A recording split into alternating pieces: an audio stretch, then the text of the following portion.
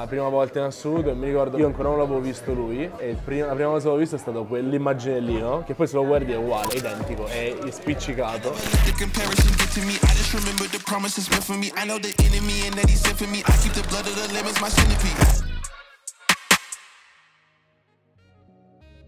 Conta che da bambino aveva bisogno di, di, cose da fare, per questo che ho cambiato 3000 sport, poi per fortuna ho trovato quello che mi è più piaciuto e la prerogativa diciamo dei miei è sempre stata quello di tenermi occupato, sia me che mio fratello, ma soprattutto io ero quello un po' più, faceva un po' più danni o comunque si era quello un po' più attivo, quindi il fatto che poi appunto i miei essendo anche separati, quindi dovevano organizzarsi, i miei nonni sia materni che paterni hanno giocato un ruolo fondamentale in quella che era la mia gestione diciamo, no? Il fatto fatto che per esempio mio nonno mi portava a Roma o mia nonna magari al mare, insomma mi, mi gestivano in questo modo. Forse devo anche ringraziare questa situazione perché mi ha consentito rispetto ai miei coetanei ancora di più di costruire dei rapporti più reali con i miei nonni. Poi le, le esperienze insomma, che, che, facevo con i miei nonni erano delle più disparate perché in un certo senso erano completamente diversi uno dagli altri. Però i primi ricordi che ho di Roma e il fatto di tornarci era sicuramente quando veniva con mio nonno Doriano però chiaramente mio nonno lavorando non poteva esco, esserci più di tanto in un certo periodo della giornata, però diciamo la chicca insomma è andare da Memmo in osteria, no? Perché era a due passi da dove lavorava nonno, e Memmo è questo oste panciuto con questo baffo. Memmo.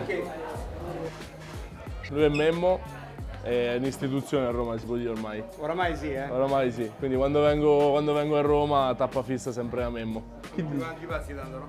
Solito, Vai, vai. il solito.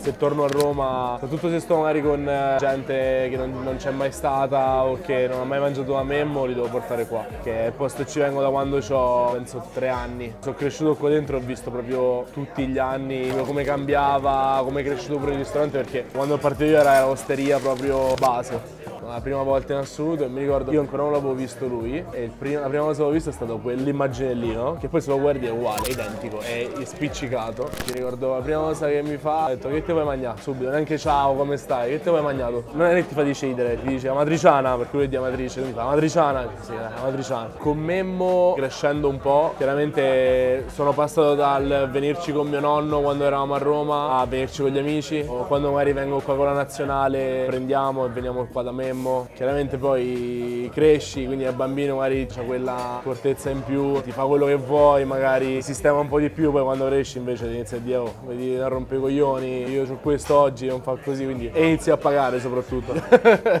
Il fatto di, di andare da Memmo da quando sono piccolo mi lega tanto alla città che è Roma, ma soprattutto alla mia famiglia, perché è sempre stata una famiglia che mi è stata dietro e o comunque sia, mi ha sempre supportato in quello che faccio e basta pensare anche quando sono al Sei Nazioni a Roma ci sono sempre, non importa giorno, meteo, qualsiasi cosa, vengono sempre a vedermi, è qualcosa che mi riempie d'orgoglio ogni volta.